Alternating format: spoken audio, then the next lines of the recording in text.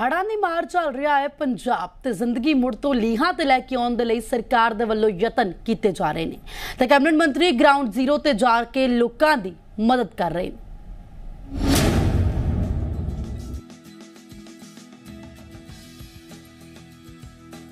ਮੁੱਖ ਮੰਤਰੀ ਭਗਵੰਤ ਮਾਨ ਦੇ ਦਿਸ਼ਾ ਨਿਰਦੇਸ਼ਾਂ ਅਨੁਸਾਰ ਸੂਬੇ ਦੇ ਵਿੱਚ ਹੜ੍ਹਾਂ ਦੇ ਕਾਰਨ ਪ੍ਰਭਾਵਿਤ ਹੋਏ ਲੋਕਾਂ ਨੂੰ ਮੁੜ ਲੀਹਾਂ ਤੇ ਲਿਆਉਣ ਦੇ ਲਈ ਜੰਗੀ ਪੱਧਰ ਤੇ ਕੰਮ ਜਾਰੀ ਹੈ।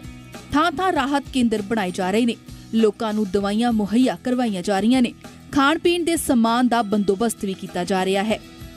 ਸਿਹਤ ਵਿਭਾਗ ਦੀਆਂ ਟੀਮਾਂ ਪੂਰੀ ਤੰਦੇਹੀ ਨਾਲ ਹੜ੍ਹ ਪ੍ਰਭਾਵਿਤ ਇਲਾਕਿਆਂ ਵਿੱਚ ਕੰਮ ਕਰ ਰਹੀਆਂ ਨੇ ਅਤੇ ਕੈਬਨਿਟ ਮੰਤਰੀ ਵੀ ਖੁਦ ਜ਼ਮੀਨ ਤੇ ਇਸ ਸਭ ਦਾ ਜਾਇਜ਼ਾ ਲੈ ਰਹੇ ਨੇ।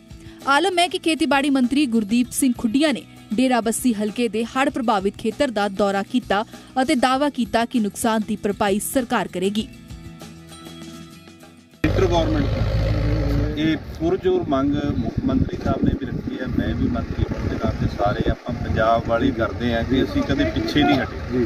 ਅਸੀਂ ਇਸ ਦੇਸ਼ ਦੀ ਖਾਤਰ ਜਾਨਾਂ ਵਾਰਦੀਆਂ ਇਸ ਦੇਸ਼ ਦੀ ਆਜ਼ਾਦੀ ਲੈ ਕੇ ਆਂਦੀ ਇਸ ਦੇਸ਼ ਦੀ ਸੁਰੱਖਿਆ ਸਰਹੱਦਾਂ ਤੇ ਸਾਡੇ ਨੌਜਵਾਨਾਂ ਦੇ ਸ਼ਹੀਦੀਆਂ ਤੁਸੀਂ ਕਦੇ ਕਦੇ ਦੇਸ਼ ਭੁੱਖਾ ਮਰਦਾ ਔਰ ਜਦੋਂ ਮਾਣਯੋਗ ਸਾਡੇ ਪ੍ਰਧਾਨ ਮੰਤਰੀ ਲਾਲ ਬਹਾਦਰ ਸ਼ਾਸਤਰੀ ਹੋਰਿਆਂ ਨੇ ਇਹ ਸੱਦਾ ਦਿੱਤਾ ਸੀ ਲੋਕਾਂ ਨੂੰ ਵੀ ਇੱਕ ਦਿਨ ਦਾ ਵਰਤ ਰੱਖੋ ਤਾਂ ਅਸੀਂ ਪੂਰੇ ਸਕਦੇ ਉਸ ਨੂੰ ਟਪਾ ਕੇ ਸਾਡੇ ਪੰਜਾਬ ਦੇ ਲੋਕਾਂ ਨੇ ਬਹੁਤ ਵੱਡਾ ਹਿੱਸਾ ਜਿਹੜਾ ਹਿੰਦੁਸਤਾਨ ਦੇ ਉਹਦੇ ਚ ਅਨਾਜ ਭੰਡਾਰ ਵਿੱਚ ਪਾਇਆ।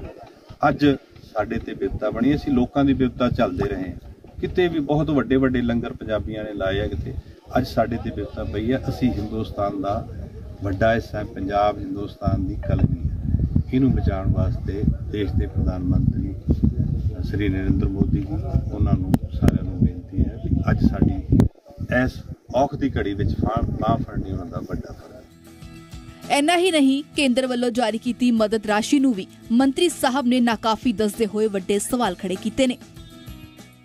ਦੇਖੋ ਅਸੀਂ ਤਾਂ ਪੰਜਾਬ ਸਰਕਾਰ ਨੇ ਆਪਣੇ ਲੈਵਲ ਦੇ ਉੱਤੇ 105 ਕਰੋੜ ਰੁਪਏ ਦੀ ਰਾਸ਼ੀ ਪਹਿਲਾਂ ਮੁੱਖ ਮੰਤਰੀ ਜੀ ਨੇ ਡਿਪਟੀ ਕਮਿਸ਼ਨਰ ਨੂੰ ਉਪਲਬਧ ਕਰਾਤੀ ਸੀ ਫੌਰੀ ਰਾਹਤ ਰਾਸ਼ੀ ਲਈ ਐਮਰਜੈਂਸੀ ਰਾਸ਼ੀ ਦੇ ਲਈ।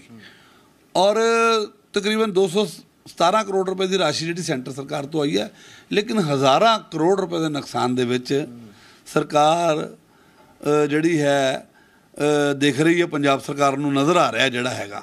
ਔਰ ਮੇਰੇ ਲਿਹਾਜ਼ ਨਾਲ ਸੈਂਟਰ ਗਵਰਨਮੈਂਟ ਨੂੰ ਜੋ ਫਲੱਡ ਦੀ ਸਿਚੁਏਸ਼ਨ ਇਸ ਵੇਲੇ ਤੁਹਾਡੇ ਸੋਸ਼ਲ ਮੀਡੀਆ ਤੇ ਉੱਤੇ, ਮੀਡੀਆ ਦੇ ਉੱਤੇ ਸੈਂਟਰ ਗਵਰਨਮੈਂਟ ਕੋ ਜਾ ਰਹੀਆਂ ਰਿਪੋਰਟਾਂ, ਐਮਐਚਏ ਕੋ ਹੈਗੀਆਂ ਰਿਪੋਰਟਾਂ, ਉਹਨਾਂ ਨੂੰ ਬਹੁਤ ਵੱਡੇ ਲੈਵਲ ਤੇ ਬੜੇ ਖੁੱਲੇ ਦਿਲ ਨਾਲ ਪੰਜਾਬ ਦੀ ਮਦਦ ਦੇ, ਪੰਜਾਬ ਦੀ ਲੋਕਾਂ ਦੀ ਮਦਦ ਲਈ ਅੱਗੇ ਆਉਣਾ ਚਾਹੀਦਾ ਸੈਂਟਰ ਗਵਰਨਮੈਂਟ ਨੂੰ।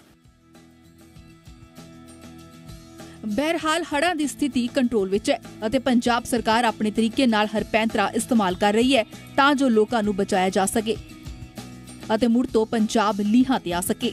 Bureau report, Zee Media.